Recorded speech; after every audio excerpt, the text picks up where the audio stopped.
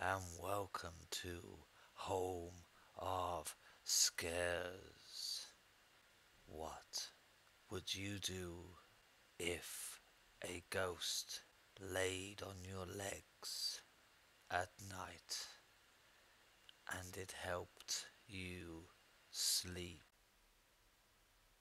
If you like this type of content, then don't forget to subscribe. Now turn off your lights, sit back, and get ready to be possessed.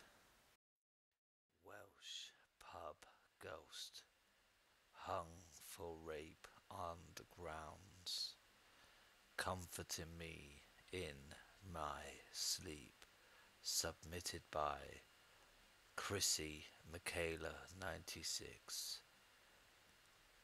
So, when I was around five years old, myself and my family moved from Essex, England to Wales, where my parents became the landlords of a very old and very big pub inn called the Golden Lion. You can find this pub online. It is under new management and is still around today. The pub was infamously haunted. My parents kept this from us kids, and we only found out about ten years ago.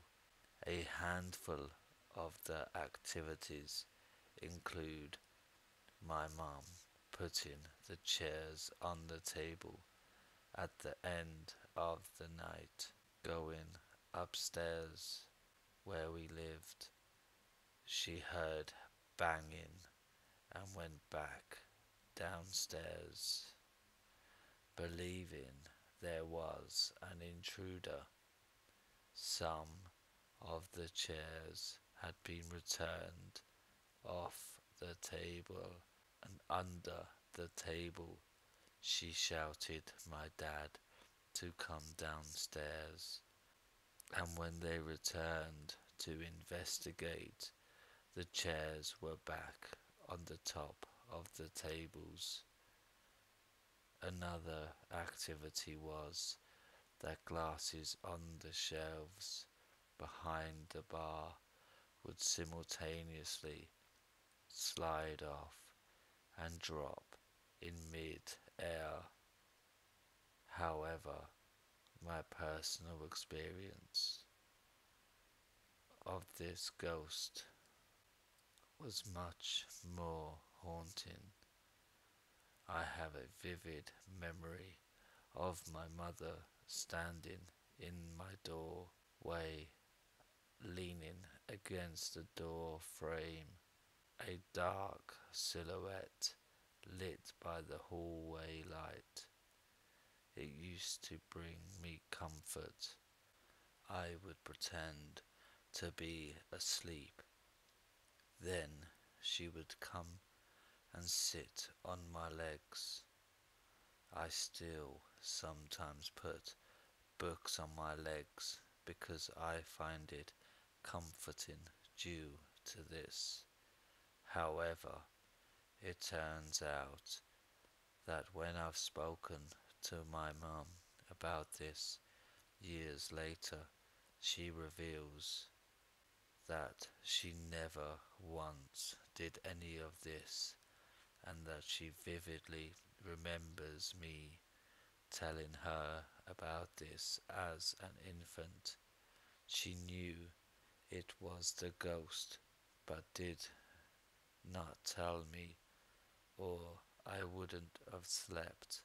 Apparently, this ghost was hanged in what is now the car park of the inn in Old Wales, especially the public houses, pubs, were used as more or less village meeting places and people were often trialed and hung there. To this day, I still believe that the ghost was innocent, or else how would I feel comfort from him, and why else would I not feel scared in his presence? What are your thoughts? Haunting in Italy, submitted by Zianica. I had something happen to me over 20 years ago when I lived in Italy. I'm a sensitive and have always been able to sense things, but this was way beyond anything I had ever experienced before. I lived in the servants' quarters of a 300 year old castle with my husband and baby. Our building was behind the castle and our apartment was upstairs. We had three bedrooms and it was very spacious. My first experience was when I was feeding the baby after my husband had gone to work early in the morning. I was looking up at the ceiling and the light fixture that was hanging down by a cord just moved up and down. My first thought was we must have mice.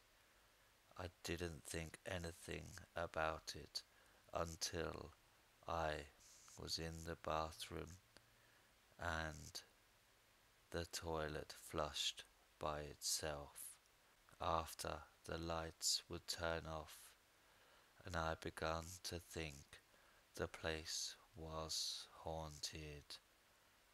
It wasn't until early one morning that things took a turn for the frightening. My husband left for work, and I heard the heavy wooden front door slam shut. I was half asleep in bed and thought my husband must have forgotten something. I could hear footsteps come into the bedroom, and then I felt someone sit on the side of the bed. My back was towards the side of the bed, so I rolled over, expecting my husband to be there, but no one was there. I freaked out and jumped out of bed. I didn't go back in the bedroom all day, even had my husband move the bed across the room. When he came home that day, he thought I was nuts, but did it to make me happy. Then, a few weeks later, I heard the front door slam again. After my husband had left for work, I was awoken and could hear footsteps coming towards the bedroom. I couldn't move and I was paralyzed. I heard footsteps come into the bedroom and stop at the foot of my bed. I felt like something was just staring at me, but I couldn't speak or move. Then I must have passed out or fell back to sleep. When I woke up, I remembered what had happened though. Things kept happening.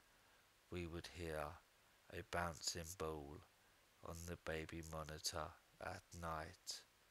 I heard a child giggle in the baby's room when I was changing him one day. My husband didn't believe me until one night We went to check on the baby sleeping, and it happened again. The morning visits got to be a regular thing, and I would just laugh them off until one night I was in bed and felt someone touching me. It wasn't my husband because he was asleep next to me and I was facing him.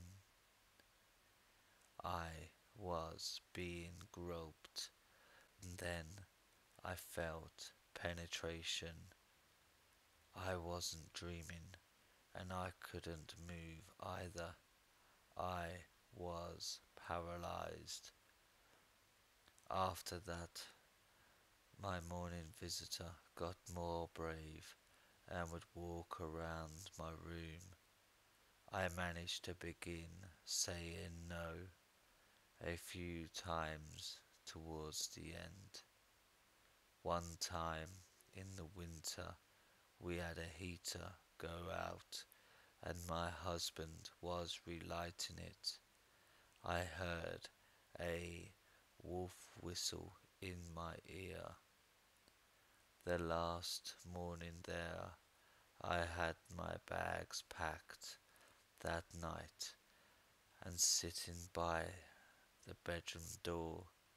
My morning visitor came in as usual and stopped at my bedroom door. Upon seeing my bags packed there, he let out a blood curdling scream and stormed out with loud footsteps. I will never forget it. I have never been visited by anything like this ever since, but I wanted to share this experience and see if anyone else has had anything similar happen to them. Edit. There was many things that scared me up to the point of that scream. But I'd never experienced living in a haunted place before and found it to be exciting to see what would happen next. I never expected to be raped or violated in that way and I wasn't able to bring myself to tell my husband because I knew he'd never believe me. He had already expressed how hard it was to believe things that I'd told him were happening already, and the last morning I was there was the worst, hearing my morning visitor come in and stop at my door. I was paralyzed in bed, but managed to croak out no before he screamed at me. I was just so glad to be gone from that place after that. I often wonder now, years later, if it was a malicious spirit or a demon that was there. I have no idea.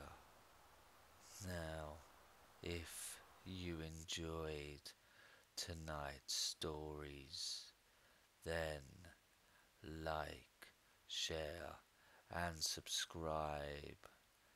Now, try not to get possessed.